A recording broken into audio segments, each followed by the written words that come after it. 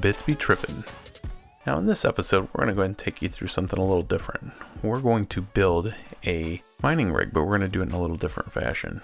Now in this build, we're to be using a 1 8 by 3 4 by 72 inches angled aluminum, along with a 1 by 2 8 foot piece of pine.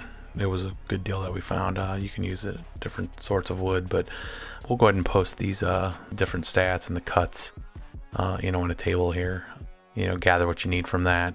The build, as you see it get built here, pretty archaic design, but very uh, useful. And you've probably seen lots of different people on eBay, uh, you know, selling rigs that are like this. I mean, we spent a total of about $20 for all the parts. This build was really built around that single eight foot long angled aluminum piece. This one piece will get you this case. It's really designed to host four to five cards with some pretty good distance as long as you have the risers. In this video we'll won't put together a rig, um, we're just building the case and put the motherboard in there but in our next video we'll uh, show some of the cards suspended with uh, the risers and really the function of the case with a full rig in. We just wanted to give you a kind of a view of how to build one, give you a good time lapse of it and then make in the link below a slowed down version of this kind of unedited for those folks that want to kind of pause and build, you know, their rig as using this as instruction. So hopefully you guys enjoyed this video. We're going to be posting some more